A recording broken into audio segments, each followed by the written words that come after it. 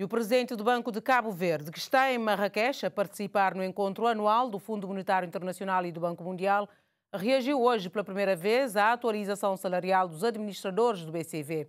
Oscar Santos considera que trata-se de um não debate, porque BCV é uma instituição financeira que tem que reter os seus quadros.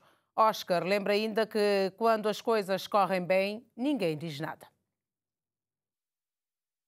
tem que competir com a banca e se não ter uma tabela salarial atrativa em conjunto de benefícios atrativos, dificilmente conseguirá fazer a supervisão. E as pessoas, quando as coisas estão funcionando muito bem e o Banco Central tem técnicos capazes e capazes de assegurar que o sistema de pagamentos se faça sem sobressalto, o sistema uh, de compensação a funcionar, nós temos um sistema bancário resiliente, não temos problema com a banca, não temos problema uh, da falência dos bancos, ah, tudo isso é trabalho do Banco Central. Quando as é, coisas é... estão funcionar bem, ninguém liga, mas as pessoas estão mais preocupadas com um salário de, dos membros de, de conselhos de administração que eu acho que não é tema para debate.